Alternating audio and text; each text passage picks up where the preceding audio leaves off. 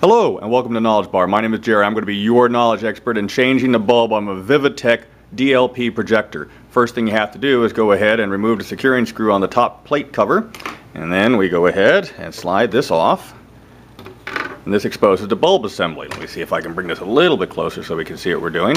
Next thing we go ahead and we would remove the, the three securing screws. I've loosened those up already and then gently pull the whole process up. Now this thing gets hot. The bulbs are rated for 3,000 hours. They go for about $300 a piece when you replace it.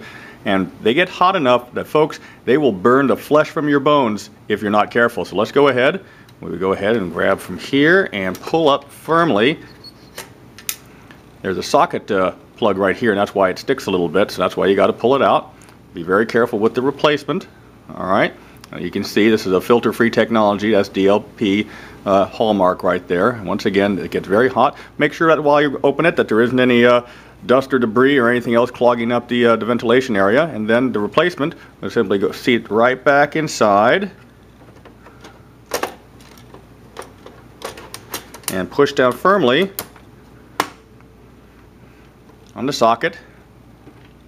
Refasten your screws and replace your plate. And that's all there is. Thanks for watching.